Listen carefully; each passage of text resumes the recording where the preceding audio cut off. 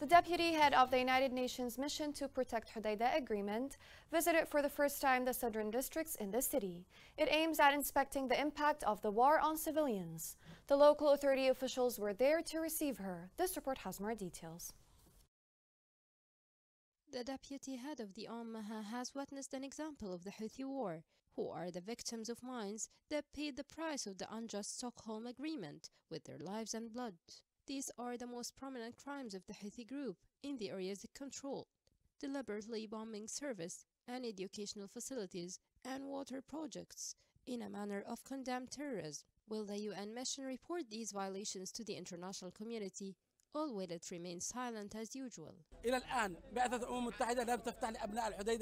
Until now, UNMHA hasn't opened a road for the Yemenis. It takes two days if anyone wants to travel from Al Jarrahi to Al Khawkha. However, the distance between them is only five minutes.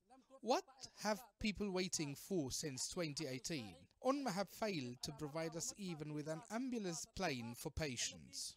The visit, according to what the visitor and her delegation confirmed, aims to assess the humanitarian situation, while in reality, the people of Hodeidah, whether in the Houthi controlled areas or in the liberated areas, didn't see any solutions that would save them from this war, neither claiming the situation nor stopping the Houthi escalation, while the beneficiary of this agreement is the militia, which practices various types of abuse against the people of Tihama in full view of the United Nations and the international community.